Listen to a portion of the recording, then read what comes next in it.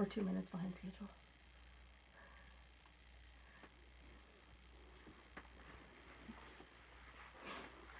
Hi, everybody. It's the Fingernail Fixer with Melissa Finch, BFF Mel, BFF Mel. and our special guest, Lauren Wireman. Woo! Where are you joining us from, Lauren?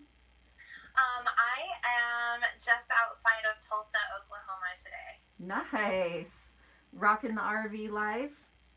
Well, actually, we drove this time, so we're in my car, and we have like a thing on the back and a thing on the top, and it's just me and my daughter, because my husband like needed a break. so like, please give me a break from these male people. he's like, I haven't seen our house for two months. I just wanna go Sleep in my own bed.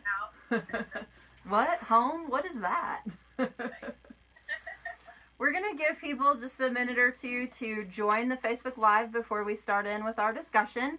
And while we are waiting for people to come on, we would really appreciate it if you would click on share and share the Facebook Live video to your professional pages so that other nail professionals will see that we are chatting today and can join us. I'm going to refresh my page and go share it.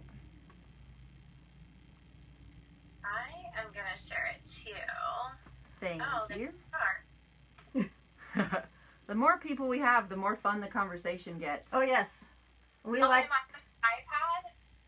I'm like, hello. Yes, there you are. Is, at the iPad.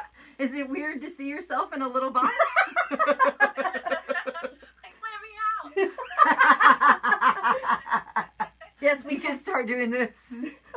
We, we captured Lauren. All right, share.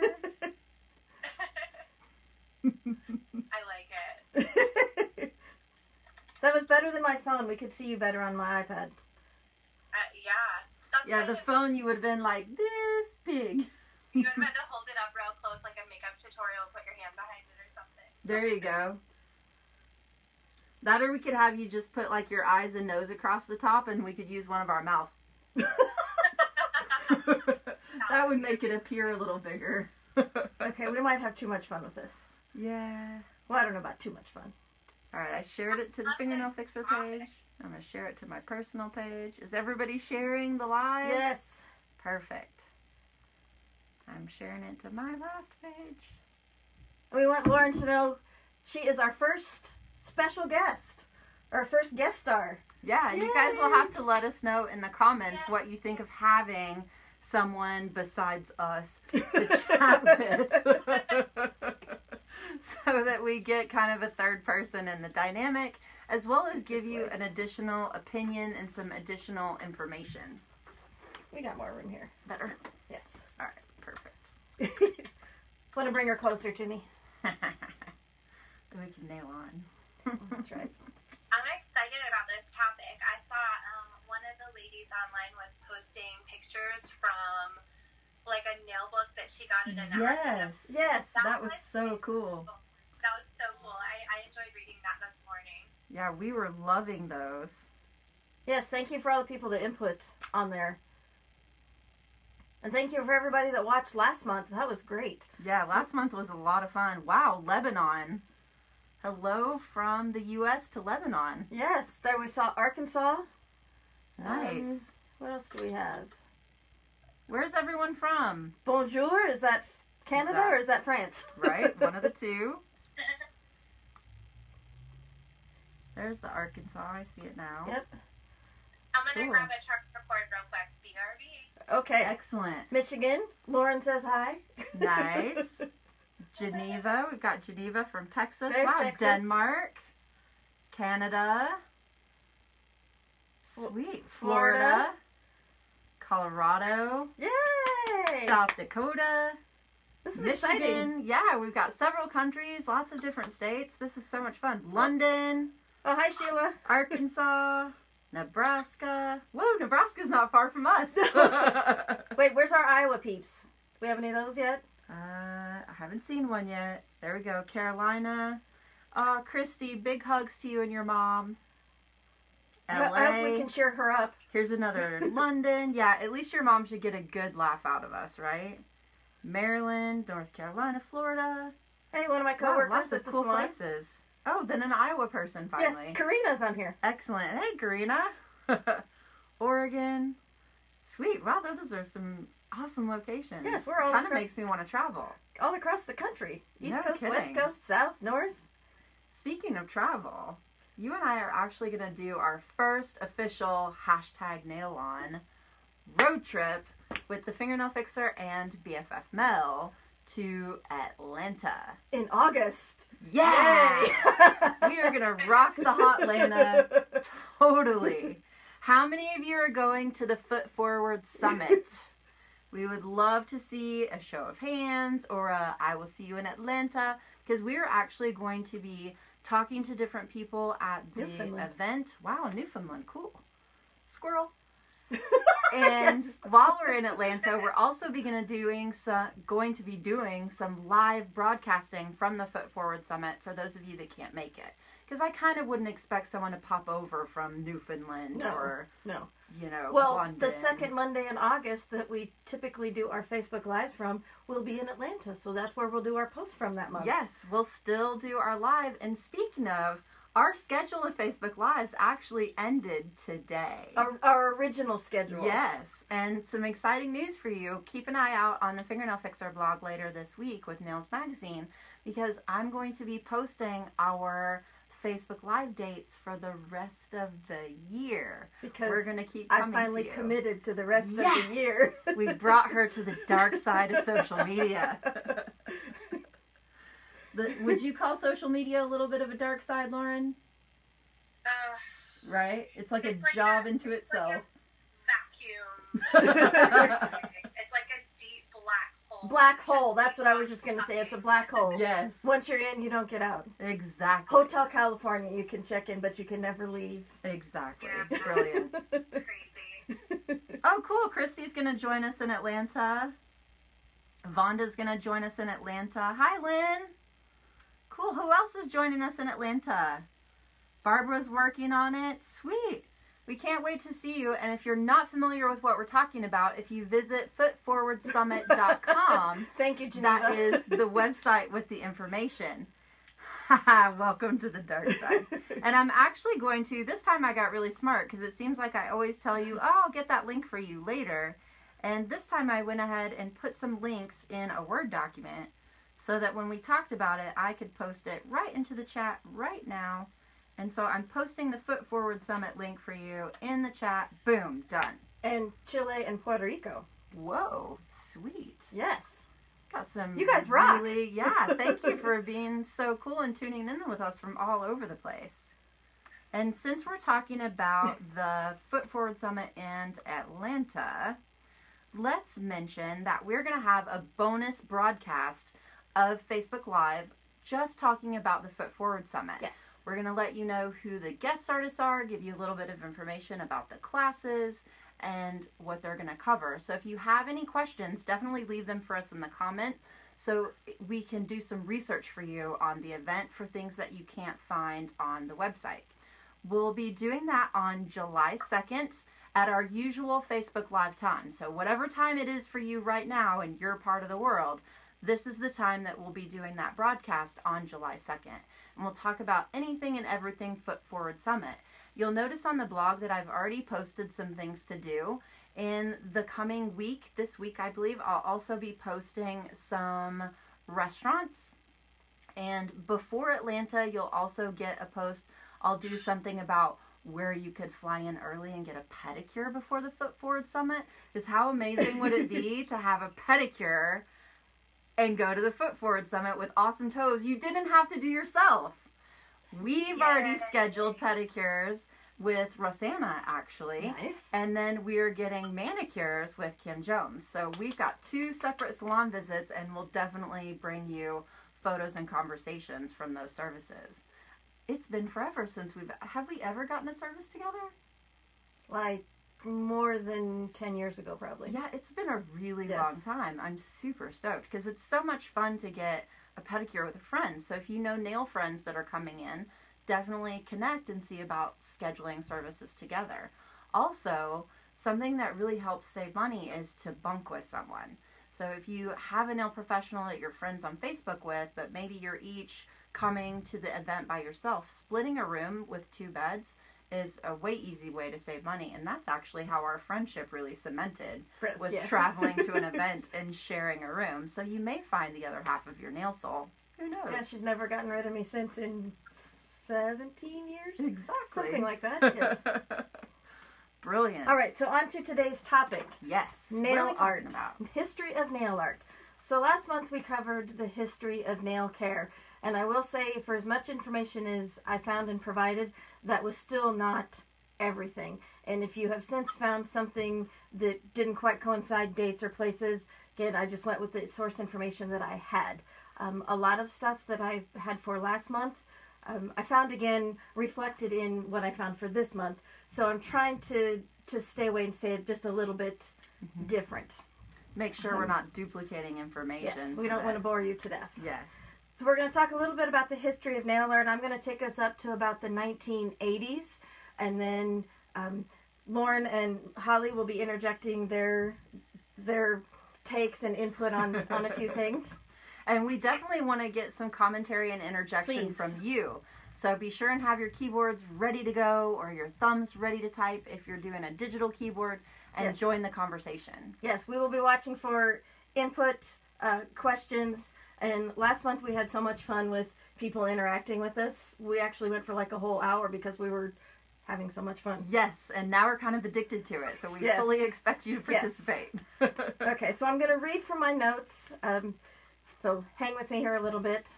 As stated last month, there was nail art history can go back as far as 3,000 years ago or 3,000 BC in ancient Rome, China, Greece, and Egypt.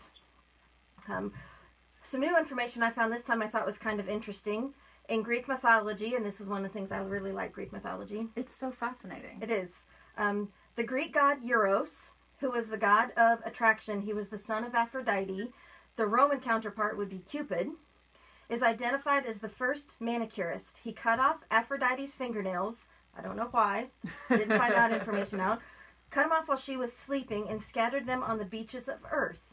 Seeing what had transpired, the Fates collected the clippings and turned them into the semi precious stone onyx, that is Greek for fingernail or ani. Onyx was already one of my favorites because hello, it's black. Right. can it not be stunning, shiny black?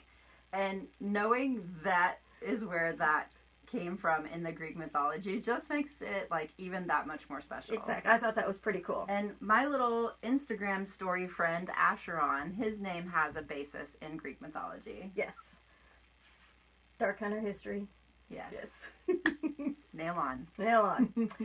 so, um, one of my sources I found this time for my information, I wasn't finding a lot of the details that I I like details. I like names. I like dates. I like specifics. Uh, as my anal- analytical side of my brain. Wasn't finding exactly what I wanted online, and then I remembered I had this book that C&D gave um, all the educators three years ago at a training. Is this one? And I just posted the link to the book on Amazon in the chat. Yes. Yes. We're so getting better at this. Yes. So this is Nails, the story of the modern manicure. As you can see, I've got all kinds of tabs here on the side for different years for all the information that I found. One of the things I thought was interesting, and this is in one of the teaser pics that Holly and I both shared, and Lauren, thank you, Yeah, shared thanks for sharing. for us this morning, was pendant jewels, is what they call them, and they were charms that hung off the nail. Um, so the charms that came back, actually came back in the 80s, weren't new in the 80s. Imagine that. Something that wasn't new but claims it's new. Right. So, by a show of little thumbs up, who has worn a nail piercing or something dangly off their nails? Thumbs up. Give it to us. Have you worn dangly things, Yep. Lauren? Yep. Awesome. Yes. Yes. Look at all those thumbs up. nice. I love it. Like that was one of the things I always would have you do for me when we first met too. I would come to you because I trusted you to pierce my nail and not like This tiny icky. little hand drill that yes, you had and to she use. would like chir, chir, Yep. chir, and I would be like so proud of it, just like rocking out this cool. Careful, don't thing. put this one in my hair. Right, Yes. exactly. Okay, 1925. So the Lee press-on nails that became popular in the 80s were not first ones. There were ones way earlier than that in the even in the, the 50s and the 30s. But in 1925, there was a company called Osprey, which is a British company, and they made a set of t- gold press-on nails. You know, and they're now in um in like the British Museum or something. So Can you even imagine? and they they sold for quite a bit. I would think so. Like celebrity, I would guess I would yes. that or royalty if it's in Britain. in in 1958, a woman in Ohio had a laminated pattern textile nail cover, how it was described. This is what's in the book too, which are similar to today's appliques. So they looked a lot like the the minx coverings, the chamber uh, chamberry jamberries. Jamberries. Yeah, the Yep. jamberries. So somebody came up with those in 1958, That's hard to imagine right? that like they were even thinking of that back then. I pierced my nails with safety pins. Nice. That is like nail tech, MacGyvering at And- its finest. And grunge. Right? When my daughter was in high school, she went through a phase of decorating all her clothing with safety pins. Oh, brilliant. So in 1960s, really, really bright colors came to be popular. Before that, it was soft pinks. Red has never, ever gone out of style. But the bright colors, things that we would, colors we would now associate with like the 80s.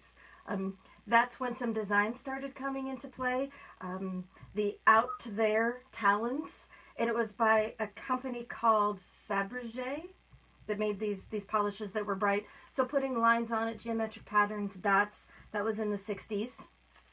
Um, in 1976, I know we're kind of going through some of these kind of quick because we have a lot of other information to cover.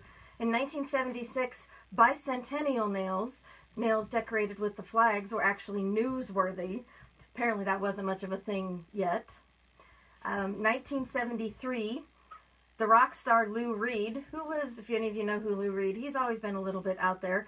He was one of the first ones to start wearing black nails. Nice.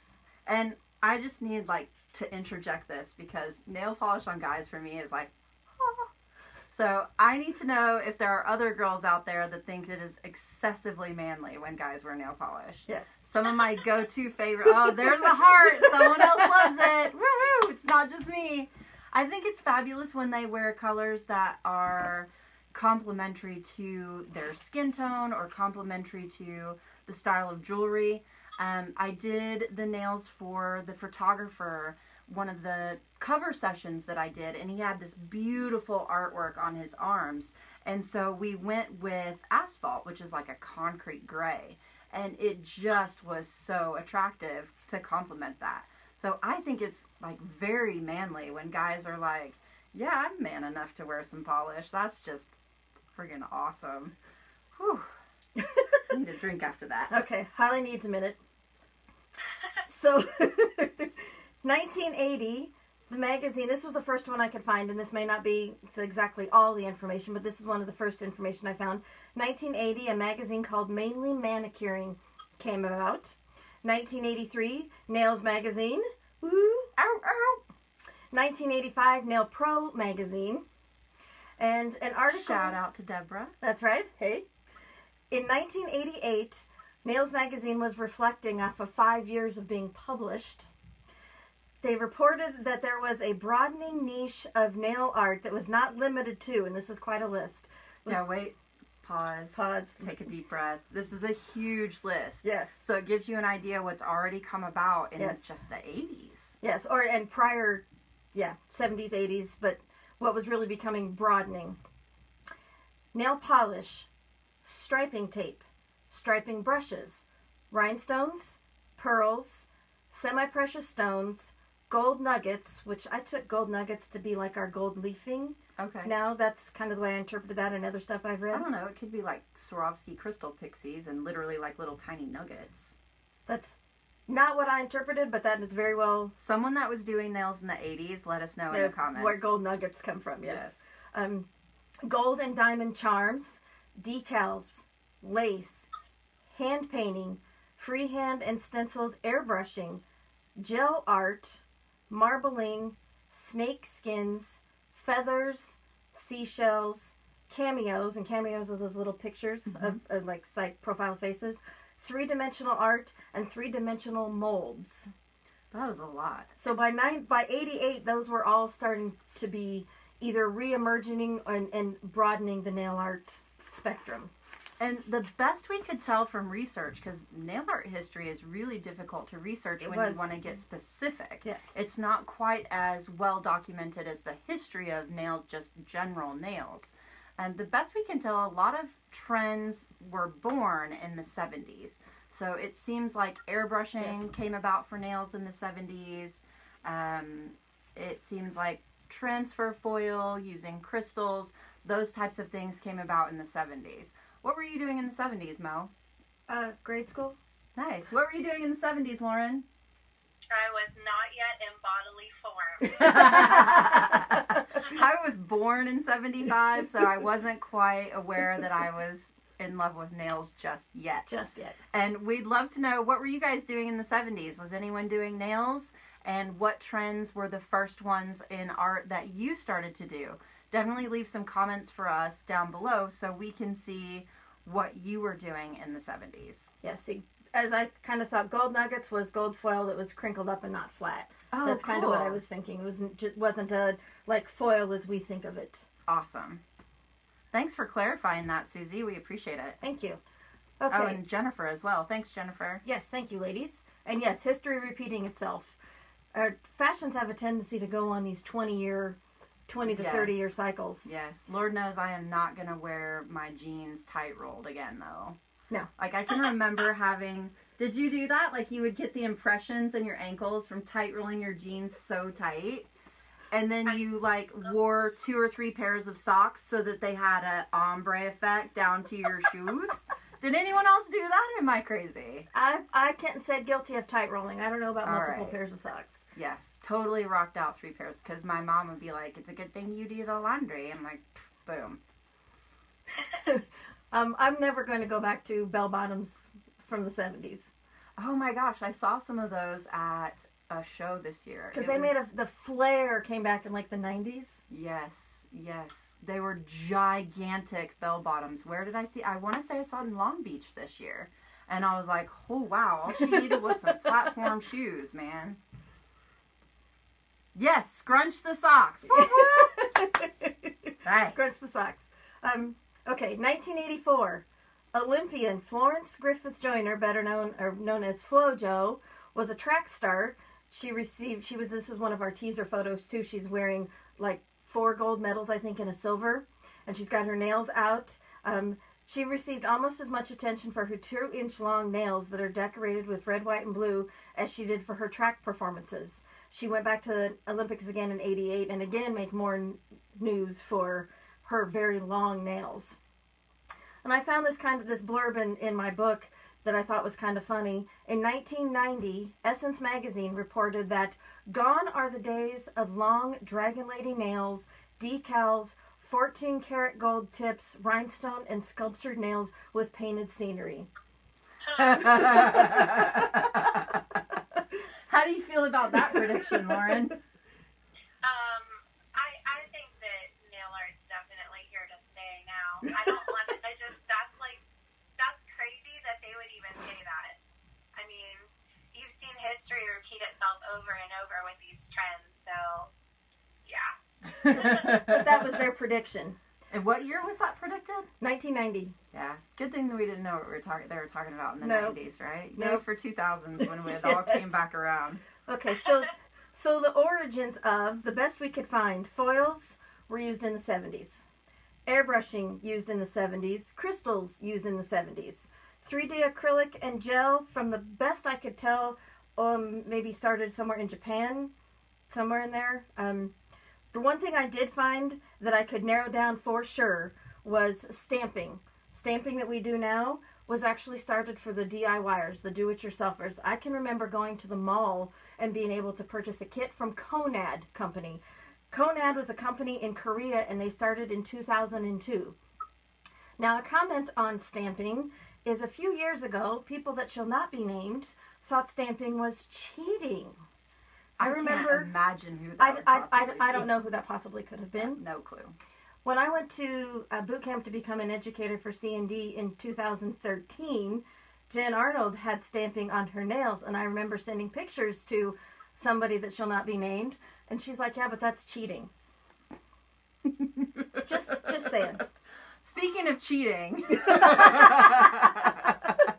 if you need some tips and tricks for your stamping, there is. I've been getting so many video requests, and um, a few people came up to me at Premiere Orlando and said, "You know, we really miss your tutorial videos," and I came to realize as I was scrolling through my YouTube, I've really gotten away from the tutorial videos. Just everything's so busy and not having a good space. And so I purchased a fold up nail table. Um, right? And I'm going to get a little organizer thing for my house, and I'm working on a polish rack and all that fun stuff. And I'm going to bring to you starting tomorrow Tutorial Tuesdays. So you will find a new video tutorial in my super fun, overly detailed, long drawn out style. so these will not be 30 second videos. And I'll give you a new video every Tuesday on my YouTube. So if you want to go to Fingernail Fixer on YouTube and subscribe, it will let you know as soon as the video goes live. And I'm going to help her incorporate a nail corner, hopefully from some pointers I have in my nail room, Yes. my studio. Because this literally is a nail corner. yes. And before we keep going, because you're at the point we're switching over to that, yes. Before we do that, let's look at where some of these guys were in the 70s and what they were getting up to. So let me scroll back because it automatically moved itself forward. We covered the gel nugget, the gold nuggets Yes. thing. We figured that out. Um, Jenny says pretty much everything has been done already. I feel Yep. like that's fairly true. There have been some new things, and hence our guest artist to kind of touch base with some of those new things that were came about that we haven't seen yet. Here we've got somebody born in 79. Here we've got one that's been in nail tech since 89. Born in 78, doing nails since she was 12. Wow. All right. Oh, cool. Eileen used to paint ceramic ornaments, which gave her brush skills, brush skills before she did nails. And I find a lot of nail people have an artistry background somewhere. Like maybe before we leave, if I have a second, I'll show you some of Mel's paintings that she does on the side. Uh, Rose says we didn't have social media, so we made stuff up as we went and got inspiration through our environment. High five, Rose, for using your nail eyes before it was possible to just pop on and find tutorial videos and Pinterest how to's. That's really cool. Uh, she says it's kind of intimidating now. It is a lot more intimidating now because you know what's out there, you know the different variety and skills. Um, you've got people like Lauren Wireman that post things, and um, or Winnie will post things, and your clients will bring it in, and you're like, I love that you think I've got those Yes. skills. I'm flattered, but not not happening. So, And I'm over here like, exactly. I love that our evil cackles like coordinate together. That's fantastic. Like Teresa's she says she's 60 and she's been doing her nails since she was 10. Oh wow, that's cool. Here we've got someone that used to make toothpick. Who else used toothpicks to make flowers when they were little? I did that too. did anyone else polish their nails with uh, whiteout and color them with sharpies? High school. Totally. and then I also figured out in you know those desks that you sit at in elementary and it's got that metal. I would put glue in the little tray and let it dry up. And then I would put a little bit of glue on my nail and glue the dried glue to my nail to make little my extensions and then design them with Sharpies. Like that was so much fun. Okay. so. Michelle says Right. Lauren's too young to remember. Just a youngin' there, Lauren. Yes. Uh, Vonda got in trouble for getting to her mom's nail polish. nice. We've got 70s for hippie time in Wisconsin. Um, Rose, a trick for Rose says expect expectations are high to copy an artist. What I do if I feel like I can't duplicate the look precisely to what my client is looking for is offer them an alternative. So let's say Mel brings in her Pinterest or her Instagram and she's like, Here, this is what I want to do on my nails. I'm going to go, Oh my gosh, that is so cool. What is your favorite thing about this? Yes. And usually there's going to be some specific things that drew her eye. And then I'll say, Well, what if we take your favorite elements like the color or the mm. style of the design and we incorporate those into something custom for you? And then you'll have your own Pinterest worthy design. I have a client that brings in, she's been coming to me for oh, four or five years now, and she brings in a Pinterest picture almost every appointment. And she, we have this good uh, agreement by now. She knows that I'm not going to be able to duplicate that, nor do I want to duplicate the design exactly. Well, she's like, well, I kind of like this color, I like this design, and then I will put my own twist on it. And I love that her reaction almost 100% of the time is, well, I like this better than the picture. And I'm like, yes. Exactly, exactly. And then post their nails on Mm. social media so that you see you're proud of their custom work. Yes. And it makes them more excited about having your work be custom than copy someone else's exactly. Exactly. We've got someone here that wore gold nail jewelry in her long stripper nails. Good for you. Good job, Jennifer. Uh, nail art will never die. Agreed. Here's Rose bought a Lee sculpting kit in the 70s. Nice. We've got one favorite. Flojo and her favorite aunt are why she started in nails. Uh, nail art forever. The 90s was French pink and whites. She got bored. Scrunch socks and leg warmers. Total 80s. Yay, Michelle said stamping rocks. Stamping definitely is like my initial view of it was totally that it was cheating, especially when you would see a nail art competition and someone has submitted nails and it's a stamped design. So I feel like stamping brings detailed artistry to the salon nails in a time frame that's affordable for the client. So I've definitely moved past the feeling that it's cheating Well, into the feeling that it is time sensitive artistry. And I think I like saying how it started off for the DIYers and then nail professionals got a hold of it and we took it to an entirely different level because then we started stamping with gels Mhm. and working with shellac and being able to adhere glitter and foils and pigments to the stamped design that's something a DIYer cannot do Mm-hmm. on their own. So we just took it to a different level. And crazily enough, some of the Tutorial Tuesday videos have stamping. Hmm. All right, couple other things before we really incorporate Miss uh, the lovely Lauren here with us.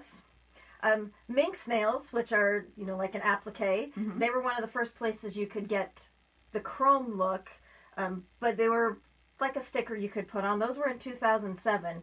The very first place I saw those was on Samantha Sweet's toes. She Yes. came over to the Yes. U.S. for one of our um, trainings, and she had these toes that were like little silver mirrors. They were so cool, and she's like, "It's Binks," and we're like, "It's what?" It's what?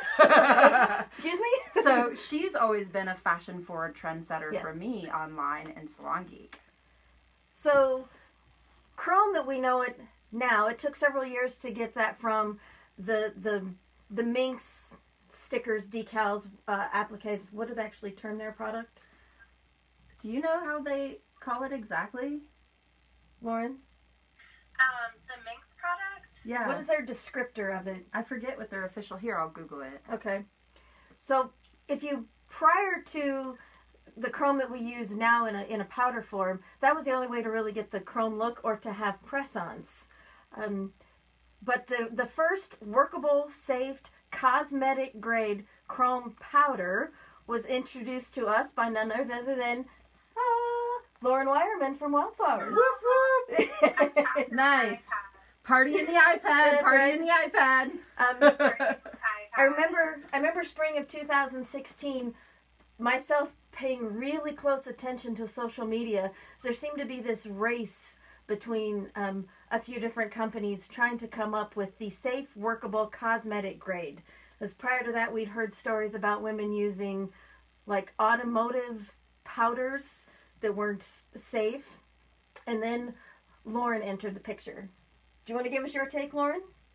Oh goodness, sure. Um, basically, what happened was, well, there's a lot to there's a lot to chrome powder. Um, what you were saying about automotive paints and pigments, um, if you chase back and chase back and chase back um, the sources of these pigments and products, um, the same manufacturing facility can have a section for doing automotive pigments and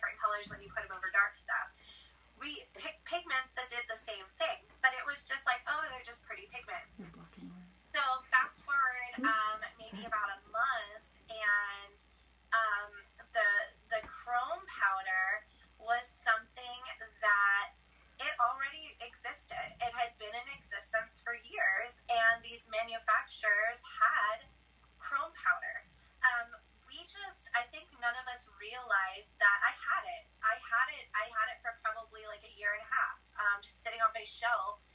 Um, I think none of us just realized what you could do with it. And so um, when we realized what could be done with it, um, then and the the sample that I had was from a cosmetic company that made pigments for cosmetics. So that part was super easy for me. Um, I just had to hurry up, it, in the jars, which was a nightmare.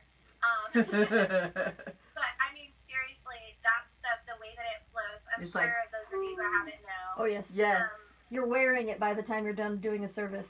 everything. Our our entire all of our cute nail specs that we had all got a coating, so they were ruined. Um, the interior of our cars, our houses, our dogs. I mean, my dog had like had it like ingrained in her nose skin. it just was everywhere. So uh, dealing with that was crazy. Then a month after that, I, I woke up one morning and I thought, oh my gosh, I wonder if the powdered sugars do the same thing. And so I ran into work, tested them, and it was amazing because they did the same thing. So I went live immediately, and I was like, guess what, you guys? Colored chrome. Woohoo! you know, lost their minds. So it was um, it was an interesting process, and um, you know when it was happening, it was just it was unbelievable, and it's fun to reminisce, you know, about that time because I just it was complete. I was like getting two or three hours of sleep a night for you know, and and I'm somebody who likes to sleep for a full eight hours, so Yes. it was crazy. But that was what really started our company and got it um, really off the ground. We were established then, but bringing that to the United States and being the first company in the United States to do so um, was just crazy. It was awesome. Sweet. Well, we definitely appreciate you rocking our worlds with Chrome. Yes, thank you. All right. Um, now this kind of brings us forward to we're up to social media. I did want to make a couple comments here on the book that I'm quoting from, the story of the modern manicure, that was published in 2014. I found a couple of blurbs that I thought was interesting. Um, in 2012, now granted it's a few years ago, but 2012, the U.S. had more specialized licensed nail techs than the population of the Bahamas. Who loves the Bahamas? Right? Whoop, Well, I'd love to go there someday. It's beautiful. Yeah, shut up. and in 2012, Americans spent 7.7 billion. Yes, that's billion with a B on professional nail treatments. And in comparison, they only spent or Americans only spent 7 billion on engagement rings. Wow. So, So- more people love their nails than other people. Right? Well, yeah. You know, Sometimes I like my nails more than people. priorities. Exactly. So now we're gonna we're gonna switch off to social media. I was gonna throw in a few things here on the social media platforms that we're all used to. I don't know if you know when all of them got started. So I'm gonna throw out some dates, and then I'm gonna throw most of this over to the BFF. How many of you remember MySpace? Who remembers MySpace? I Show remember us MySpace. thumbs up. Yes, it was it was your Did you have music on your page? Lauren, did you put music on your MySpace page? I think I did. I only had MySpace for a short time, and then I got rid of it because it just annoyed me. I saw a meme the other day that said Facebook needs um, an app or some way that when somebody pulls up your page, it'll play music. And a comment below that said, "We have finally reached the age where people don't remember MySpace." No, I loved having a could theme song. yes, Like, Yes. I, I think MySpace was cool. I wish we could customize our Facebook pages like that. Yes, I, I yes. like that. I totally loved having a theme song, and I remember posting nail stuff on my MySpace. So MySpace was started in 2003, and it died. May it rest in peace in 2010. Um, Facebook started, and the rest of these are all going. Facebook started in 2004. Instagram was 2010. YouTube was 2005, which totally changed our nails world. Yes. Twitter 2006. Tumblr 2007. Pinterest started its beta testing in 2010. By the way, the people that started Pinterest, Des Moines, Iowa. Really? Yes, See, Iowans aren't all that bad. No, we're not too bad. And Snapchat in 2011.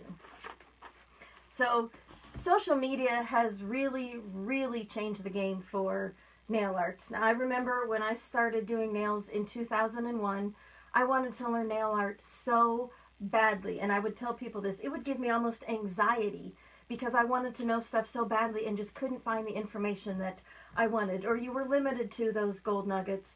Or um, I remember at the time new bar pens. Remember the new bar pens? Yes, I love the Yes. bar pens. She- I still have some so that are she- like a little bit dried out, Yes. but I can't part with them. They were my friends. Right? I so I still have a door full also. But what's interesting is the people like us and the people like you guys out there that wanted to know so much more about nail art, we had to find different avenues to get that information. And once you started finding it, you started sharing it. Mhm. And it just became this thing of social media helping nail art just absolutely explode. Um, I searched the other day from YouTube. I could not find a specific what was the first nail art tutorial on YouTube. Could not find a, a specific. Um, what I did find was the most viewed nail art tutorial had 33 million views, and it was um, a trend for nails, um, nail art for 2017. So it was just Recent. yeah, just last year. Nice. So when people like Holly started making your YouTube videos, and not, she's not the only one, she's just the one I'm obviously most familiar with, that's what really started changing our face of, of nail art and made it so much more accessible. I know Lauren has said that she learned a lot of her nail art techniques from watching nail art tutorials and watching them on mute because quite frequently they were in other um, other languages, right? Yeah, I think um, one of the first or the earliest YouTubers that was doing art was Robin Moses. Yes. And Yes. all of her stuff is just hand painted on the surface of the nails. And she was somebody that I watched periodically. But to learn, um, you know, encapsulating with acrylic, uh, stuff like that, that was more advanced techniques. Yeah, it was Russians, it was um, people who spoke Spanish, I couldn't understand the stuff anyway, so I just turned the volume off and had to be as observant as I possibly could, you know, to try to learn those things. But it is totally different now. I mean, it's flooded, oversaturated, like nail art for days. yeah, definitely post in the comments some of your favorite nail professionals to watch on YouTube. Robin Moses would be a good one. Oh yes. Lauren, you do Facebook Live broadcasts with tutorials, don't you? I do a weekly tutorial every single Thurs- Thursday, Thursdays, yes. which I'm like, yay, you're joining the club. Not, I mean, I think you were part of the club and then you left, but now you're back. Uh, when I make my uh, Thursday I think of Winnie um, because I know she's doing the same thing, and Yes. now I'll think of you Winnie too, Wednesday? and all three of us. right? We'll have tutorial. Tuesday, Winnie Wednesday, and Lauren Thursday. Nice. every Thursday. So So there's no excuse for you guys not to be inspired because part of your week is going to be full of tutorials. And definitely leave us links for some of your favorite YouTubers so that everyone can just click on them and go find their YouTube channels. Nice. All right, so turning it over to you and your experiences with social media. Whew. All right. So initially for me, the first thing that I found online as a nail professional looking for help was beauty tech. And that was started by Debbie Doerrlamm in 1994. Uh, I came about into the nail world in 1999. And that was a place where you could ask questions and get help, and later became more, there would be tutorials and step by steps and so on as more of the social media came into play.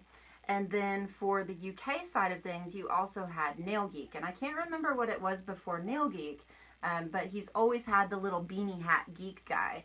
And so just love that. Then as we advance a little further forward, getting into more social media versus forums, you have the Nails Magazine Nail Art Gallery. This was gone about this went about in February of 2010 and I was actually one of the beta testers for the nail art gallery and their idea behind that was to be an interactive community of nail photography. And what I find interesting is that Pinterest started beta testing in March of 2010. So Nails Magazine was right there at that forefront of featuring photos and designs versus lots of words and forums. Um, Nails Magazine also has an app for the Nails Art Gallery. Mm-hmm. Just checking that out. Can you night. pull that up in the App Store so that we can kind of show the little photo and descriptor so that they can find it if they don't have it? I will see what I can find. Then in October of 2010, Instagram comes to the table. And definitely Instagram and Pinterest have been two of the largest sources for nail designs.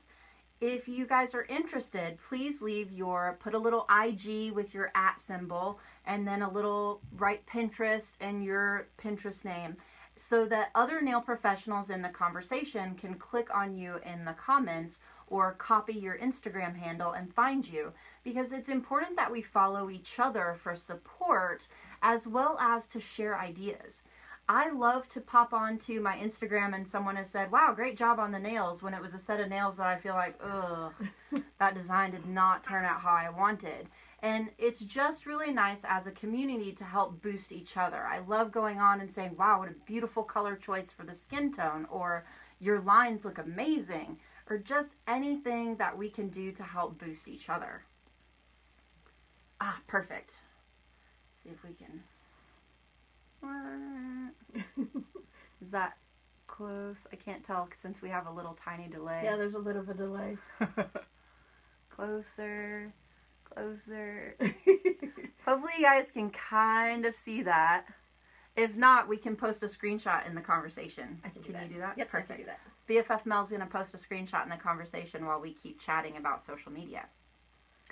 In 2012, Nailgasm actually posted a video that it's kind of a montage to nail art, don't you Yes, think? they call it a document documentary, but it was really just talking about how how empowering and how powerful and how inspiring nail art can be um, for women. And I'm popping on to stick the link to the Nailgasm video on Amazon. Perfect. Just stuck it in the comments so you guys have that. In 2012, CNN, which is a news source that a lot of people look to and trust and feel like they know what they're talking about, CNN said that nail art is the new lipstick. I can remember when that was like a really big deal when that article came out. Do you remember that, Lauren? I don't, but I remember 2012 and nail art. Like that was it. I had two clients that didn't get nail art. Nice, nice. yeah, I think maybe two of my clients will occasionally be in the mood for solid color. But for the most part, I would say 95, 90, 95% of my clientele wears design work as well. And what percentage do you think, like, give us a thumbs up if your clients are wearing nail designs? It doesn't want to let me post a screenshot, so when this is done, I'll go back and post it as a comment. Perfect, perfect. In the Nails Magazine world, we started seeing professional bloggers. One of the original bloggers would have been Debbie Doerrlamm posting on the beauty tech page with information and sharing tips and tricks. And now beauty blogging is its own huge thing. You're seeing the DIY blogs, you're seeing professional blogs, and it's anywhere from someone that just swatches nail polish and commentates on the color to people that give you ideas on design work and then you have bloggers that are um, kind of walking you through the process of starting a salon, walking you through being a nail. Nails Magazine has a student blog now. Um, some blogs to note from Nails Magazine. The 365 Days of Nail Art is literally a photo of nail art every single day. So there's nothing to read. There, it do, it's not a time suck unless you haven't seen the pictures lately and keep going back through them. But that's definitely a fun blog to follow and just pop on each day. So if you're having a brain block day, it can give you kind of some inspiration and a featured look.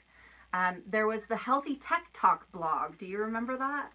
Yes, it was yes. a coordinated effort between CND and Nails Magazine to help nail professionals be healthy. And that old Healthy Tech Talk blog is what inspired me to start posting a very occasional blog on how we could be a smidge healthier. Because I feel like expecting us to go from nail sloths that don't eat lunch and pig out at dinner and don't have time to exercise and sit at the table all day to like these workout fiends that eat super healthy every single meal with no exceptions is pretty unrealistic. Um, and so to make it a little easier to swallow to be healthier, my concept is to be kind of healthier this year than you were last year. Maybe if you never ever exercise, try five or ten minutes a day, maybe every other day. And this year I've actually finally built up to I at least exercise every day. The time isn't consistent, but I at least squish it in somewhere every day. I need to work on that. But uh, that's the E word. Right? You know how you don't say the F word or whatever. That that's the E word. That doesn't really exist in my my world. But I need to work on the E word. I'm not sure I know many people busier than Lauren, especially Right. now that she's touring the country. Do you find time to kind of be healthy? Um, I, it's really actually very important for me um, to eat, and, and I make time in my day to eat. I actually, when I teach, um, I have my daughter order my food for lunch at like eleven thirty. She knows if it's eleven thirty that she needs to put it in order for my lunch so that it gets there at twelve, because just like when you're a nail tech, that lunchtime, I mean, I've got people trying to talk to me, ask me questions. I can't go hide under a table or go sit in my car to get away from everybody in class. If I have a room at the hotel, I can, but I usually don't because I do enjoy talking to people. but I will say this every single day, I get a workout of some kind. Um, we have probably 300 pounds of product in my car right now that I cannot leave out in the hot car. mm-hmm. So uh, yesterday, I had to lug and lift every single one of those bins onto a cart and push that cart all the way into the hotel. And Mhm. on, you know, and I can tell I'm breaking a sweat and I'm it's like just with what I do, there's something every day that gives me some sort of workout. So Perfect. um, I don't worry about building in time because it just happens naturally every day. That's awesome. Another blog of note from Nails Magazine that was early on was Maggie Rants and Raves. Maggie Franklin was a blogger that started in 2009, and I loved her snarky humor. Like, that was the first blogger that I personally read. And then the Fingernail Fixer blog, which is me, actually came about in 2011. So I'm been around for a day or two, A couple. and it definitely has been something I truly enjoy. She hasn't got me into the game until this, just this past December. Yes, um, I'm gonna need to see a little show of hearts so that Mel knows who is happy that I drug her into social media Kind of. because she leaves really cool tips and tricks on her Mel's Tips of the Trade page. I'm gonna see some little look, little thumbs up and hearts. Those ha are all ha. those are all Lauren. I might now. Why do you want to ruin it like that? Thank you for the love, Lauren. Hashtag Nell on Nell. Yeah, I was that's- watching you, Holly, back when you started. You were somebody who was very um, influential to me because your videos were so detailed and you took the time to explain things. So you are actually someone that I was watching when I was starting. Aw, that makes me want to hug the iPad. Oh, hugs. It's, Awesome. it's been very inspiring to me to watch Holly over her career of having known her since just two years into her career and watch her build fingernail fixer into like this global name. We've been at we were at a trade show together one time and um, she had done the, the artwork on my nails and an attendee came up and was looking at um, looking at the designs on my nails and was like oh how did you do that? So we started to describe it to her and then i picked up a business card of holly's and asked this gal i said well are you on facebook? She said yes. So i handed her the business card. I said well the, the video to tutorial to how to do this particular look is on this facebook page. And this woman takes the card no joke went oh my god you're the fingernail fixer i thought she was going to cry she was like having this fangirl moment and i looked at holly and holly's like um i'm not ever sure what to do when this happens and i just looked at him like don't expect me to do that right. but the next time she walked in my door at my house i was like is that the fingernail fixer At least you've always been able to claim I sleep on your couch. Yes, yes, she sleeps on my couch. So it's been very inspiring to me to watch what she has built. But I have told her for years, I always felt like anything I tried to do now, she's already done. Um, so I didn't want to get into doing how-to videos and step-by-steps. Um, I felt like for years I've kind of been her silent partner, the other half of her nail soul, as she calls me. But it's just been within the last six to seven months that I've really started stepping my toe into this, and it's been so much more fun for me to do this jointly. Yes. I didn't have an interest in having a voice on my own necessarily. It's much more fun to do this as partners, BFFs. Yes, for sure.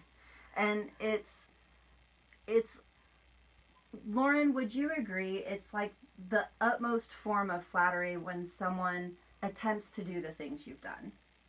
Oh, so much. I, I mean, it, it's just, it, it's such a like tickly, warm, fuzzy feeling. Mm-hmm. Um, to know that I feel like when you make videos, it's a lot of work. Yes. You have to record the thing. You have to re-record it when it doesn't go right. You have to take the time to then edit the video. Uh, you have to do graphics. You have to do voiceover. Um, I mean, there is a lot that goes into it. I put out a video and I might get five people who comment on YouTube. Mm-hmm. Um, and I know that it gets a lot of views, but for those five people that take the time to comment, um, it really means a lot. And I know I don't always get the time to comment back. I try to. Mhm. Um, I have it coming from like every avenue, uh, so it's it's hard. But I do try. I make time every day to do as much as I can. But when you see somebody actually go a step further than that and try to attempt to do that nail themselves, that's why I do what I do. That's why I do the tutorials. I'm sure that's part of why you do what you do when you make those tutorials. I want people to take that step and do it and implement it and um, you know own it and make it theirs. And, Yes. and that's what I love. That's what I love. One of my Yes. favorite things about being an educator is teaching nail art classes and showing some very simple designs, some very easy salon nail art that can be done quickly at your table, and having nail professionals and attendees be like, "That's it? Like, yep, that's, That's it. it. That's all dots it and lines. Yep. A lot of things come I- down to dots and lines. Yep, I love seeing that um, those inspirations. That's what I've said for years. If I can make it in lines and dots, it'll happen. Yeah. And just even the nail professionals that have picked up making tutorial videos, having blogs, doing more social media. That's why we do what you do. Not so you can feel like you're copying, but so that you can feel empowered to Yes. do it in your own style, to put your own spin on it. Even if you were to try and repeat my tutorial word for word, the way that you present it with your personality, someone else may learn better from you than they learned from me, even though in your mind it's the exact same thing.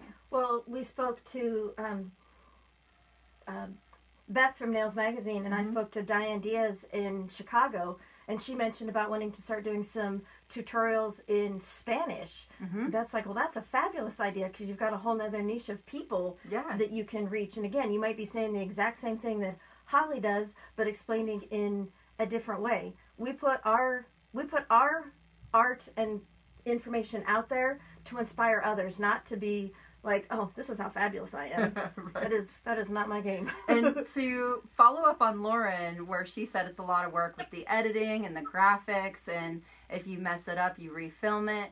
So, just like a little reminder for those of you that weren't around or that it's been a while since you watched one of my tutorials, they're not edited, they're not refilmed. It is literally the raw mistakes and all. Take it as it is. Fingernail fixer turtle tutorial. Yep. And just to kind of wrap up social media, the Manicam made a de- debut in the 2012 Emmy Awards. And that was a really neat opportunity to see some of the things that celebrities were doing. And society tends to want what other people have. So once they started seeing those elaborate, really decorated manicures, it gave us more opportunities to start offering those elaborate, more decorated manicures. And the trick with nail art has always been and probably will always be because we're a little bit self depreciating as nail professionals, charging for your time. Your time has value, period. No excuses, no exceptions, no anything. Your time has value. So you definitely need to be charging for those nail art services that you're doing. I like what Jennifer says here. She says, I love doing real time, mistakes and all. It shows you're real. Exactly. It shows that we're all human. You cannot duplicate the same design on all 10 fingers. Even if you're stamping, they still don't turn out all exactly the same. You've got 10 little pieces of art every time you do it. Yes. And my favorite analogy is to always look at something like Bob Ross. For those of you that aren't old enough to have a clue who that is, use your friend Google. And Bob Ross, when they would zoom in on his painting tutorials, the canvas looked awful. It's like these blobs of nothing. You're just Scrapes like, and- what? yes. Yeah. And then when they zoom out, it's this stunning photo. Happy trees. Yes, so your happy trees. and what this makes me think of is we're sometimes so focused on that laser precision of the, our tiny canvases that we forget to sit back and look at the entire picture as a beautiful work of art that came from our heart as a gift to the happiness of our clients. I love it. Absolutely love it when I can make a grown woman go, oh. Yes. like a little girl. Yes, and they always leave smiling. Yes. And sometimes hugs. Hugs. that's fantastic. I love when they're Yes. so excited about their nails that you get a Yes. hug. Like that's the best tip ever. Yes. For sure. Well, it looks like we have gone just a little bit past our usual hour because this topic is so much fun. And we have our idea for July, and we'd love to know your comments on what you think of the topic or what things you would like help with on the topic. Do you want to share it with them? Uh, we thought we'd talk about social media in the in the prog- uh, progress of researching this and getting like the dates there for Facebook being around since 2004 and Instagram being around since 2010. It got me to thinking maybe not everybody is real familiar with all platforms of social media, and um, I have some information that I'm hoping I'm going to get permission to share on exactly like what graphic or demographics. Mhm. like who is your main people that use facebook? What age groups? Who is the people that use instagram? Where do these people get their information? Uh, one of the comments that was made um, when we were at our our summit was your social media attention span is two seconds. You have to get somebody's interest in two seconds if you want them to then go back and look at your further into your information. So we'd like to delve a little bit more into how can help you on your social media. what platforms should be you be using which ones are going to draw clients which ones are you using to network with other professionals what are your social media goals is your goal to be well known by nail professionals well known by customers to only be known in your area what are you looking to accomplish we'll also have some tips and tricks on social media itself some information on posting and all of that fun stuff that i normally do in classes Mm-hmm. and so it'll kind of be like a complimentary class from Nails Magazine. And we'll help you learn about all about hashtags in case you don't really know what that true. There is a science to hashtags. It's actually kind of interesting. It's very interesting. And for those of you that didn't catch it last time, our official hashtag for our monthly Facebook Live togetherness is hashtag nail on. Nail on.